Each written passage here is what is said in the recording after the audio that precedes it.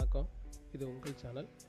இன்றைக்கி நம்ம என்ன பார்க்க போகிறோம்னு பார்த்தோன்னா எக்யூப்மெண்ட் அலைன்மெண்ட் அதாவது எந்தெந்த வரிசையில் எந்த ஏஜுக்கு எக்யூப்மெண்ட் வைக்கணும் அப்படின்றத இப்போ பார்க்க போகிறோம் நீங்களே பாருங்கள் ஒரு ட்ரிங்கரு ஒரு ஃபீடரு அதாவது சின்ன ஃபீடர் ஒன்று வச்சுருக்காங்க பெரிய ஃபீடர் வச்சுருக்காங்க.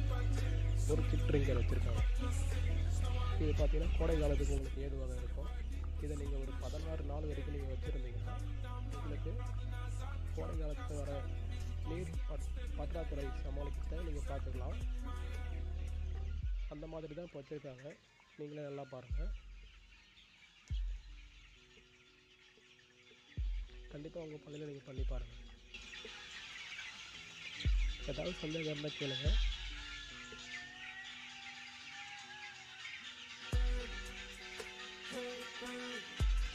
இந்த பண்ணையில் பார்த்தீங்கன்னா ஏஜ் வந்து கோழி இன்னைக்கு பத்து நாள் ஆகுது. இது வந்து பண்ணுற மிஷினு பார்த்துங்க ஒரு தீவன டப்பாவில் அதாவது சின்ன தீவன டப்பாவில் ஃபீட்ரு எம்டி ஆகிடுச்சு தீவனம் இல்லாமல் போட்டிருக்காங்க பாருங்கள் தீவனம் இப்போ தான் நன்றி.